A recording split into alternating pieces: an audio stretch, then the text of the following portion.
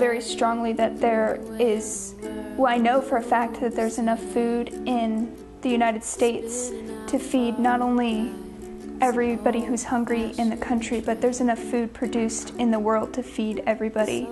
Um, and that's something that I feel very strongly that not enough people know or realize or do anything about.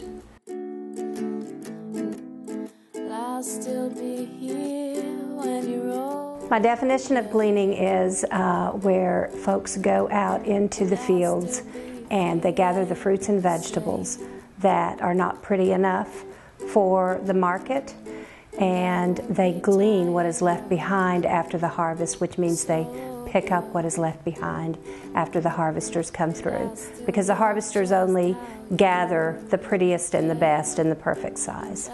Supervisor is, whether it's myself or another area coordinator or another volunteer, um, they kind of tell all the volunteers about Society of St. Andrew, who we are, what we do, um, and they go over how and what we're picking that day, whether it's corn, potatoes, citrus, um, and then we get picking. a day at a time, I want you most companies, you know, and Rollins would be one of those, um, they want to give back to the community. We're here as part of the City Winter Park, for example, and we have a great partnership with them. Uh, it's a great way to get employees to come here. Everybody wants to give these days.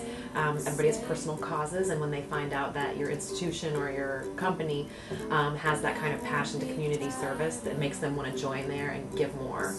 You know, people want to work-life balance, and they want to work for a company where they feel that not only do they do a good job at work, but they have the opportunity to explore their passions after work. And so if that can kind of tie into the institution's mission as well, that's a win-win situation.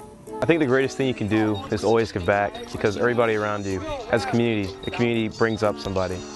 And so you have to give back in order to really reap, to really reap the rewards. Because when you help somebody, you feel good. But at the same time, we're helping that person, you're also bringing them up. Well, the thing is with community service, I think America is at a situation right now where we don't go out of our way enough to kind of help those out. And it's almost like who's going to do it if we don't do it? So once you go ahead and you find that compassion to do community service, you start infecting other people. Service by itself is meant to be just out of the kindness of your own heart. And once you adopt that mindset, you start adopting different mindsets like acceptance, tolerance of diversity, things like that. When you can put in work for a cause that doesn't directly benefit you, I think that's the best type of service you can do. Uh, especially when we have hard economic times like we do now, it's really important to give to others and to serve others. So I would just encourage people to take a little bit of time, and it doesn't take that much time to do it. You have friends, and you're having fun, and you're doing work at the same time. There really isn't a better, a, a, a better deal you can ask for.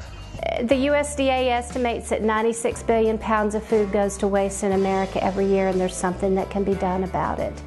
Uh, there are thousands and thousands of people that that aren't volunteering that can get out there and volunteer and uh, help pick those crops. But uh, Society of St. Andrew works to bridge that gap between that 96 billion pounds of food that just is thrown away every year and the 52 million people in America that are food insecure.